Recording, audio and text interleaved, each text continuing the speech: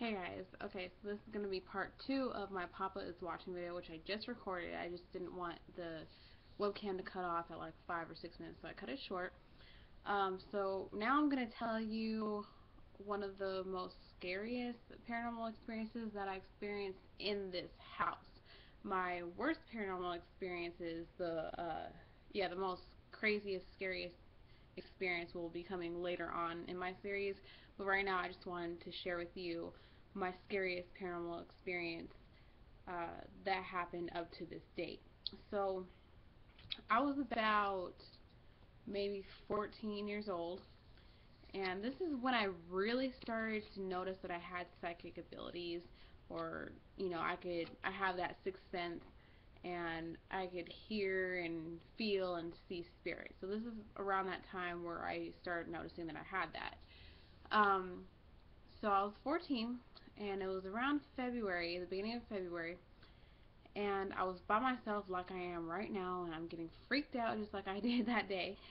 And the TV, we had a TV, and it used to be sitting on the desk that the computer sits on right now, but it used to be on. Sorry about that. So, pretty much to explain to you, um, the TV used to be on a desk, sitting on a desk right sorry, right here on this wall in this corner. Okay, and like I said, the bed used to be facing that way. It used to be on this wall right here. So I was sitting on on the bed watching TV. Okay, and also the door was closed.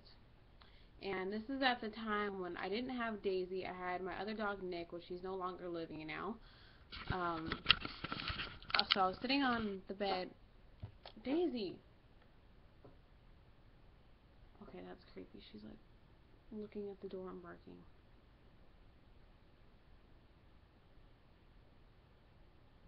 Okay. I'm just gonna ignore that one. Hmm.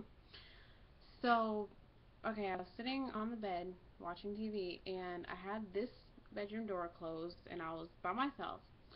And, you know, I've lived in this house for so long that I could hear when someone's coming in the door. I know the sound of people coming home from the grocery store or from work or whatever. So I thought I heard someone come in the door, in the front door with groceries, go into the kitchen, set them down, and start ruffling through uh, grocery bags like they had just come back from the store.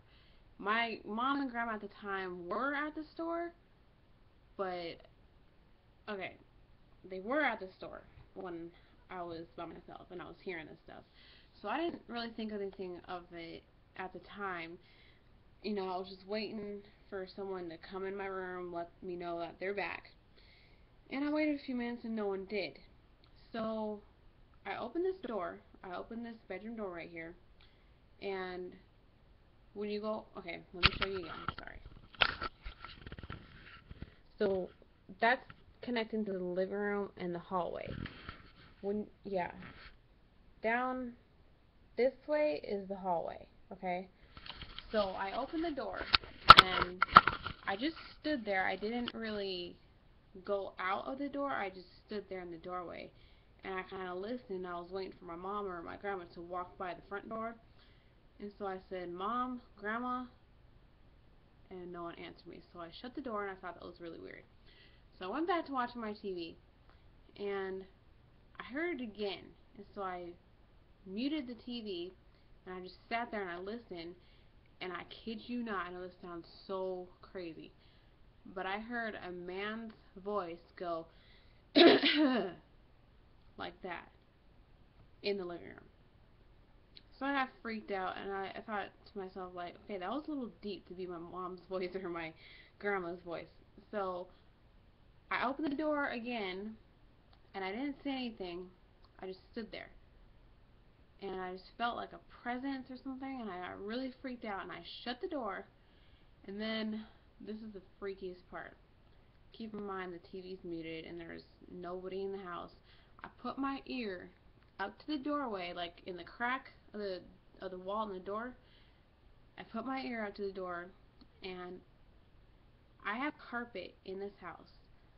So what I heard was crazy. I put my ear my ear up to the door and I heard someone shuffling on the carpet, walking back and forth down the hallway three times.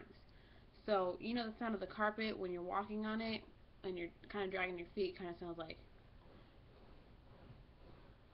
that. Like, I don't know if you can hear that. But I heard that and I freaked the fuck out. I seriously freaked out. And I don't know why I did this, but I got under the desk that the TV was sitting on and I called my friend up and I told her what was going on. And as I'm doing this, my mom walks in the front door and opens the bedroom door to let me know that she's home like I thought she was going to do originally. And I screamed and I told her what happened and she was the only one that believed me. My, my grandma tried to um, debunk it saying, oh, maybe it was the bird making noise because I have a bird. Uh, maybe it was the air vent, blah, blah, blah. But my mom believed me and I know what I heard. I, no one was in the house at the time except for me and my, and my dog and the weird part about that was my dog didn't even, I don't know, he didn't bark, but he kind of looked like he was looking at something. I don't know, it was really weird, and this freaked me out for days. And this is when I started noticing a lot more activity going on in the house. So, anyways, that's my part two of um, my Papa is watching video. I'm getting really freaked out right now, so I think I'm going to stop for today. Uh, comment, like, and subscribe, and stay tuned for tomorrow will be my pregnancy update video. And um, if you guys have a similar experience, then let me know in the comments below. And I'll see you guys again tomorrow. Thanks for watching. Bye.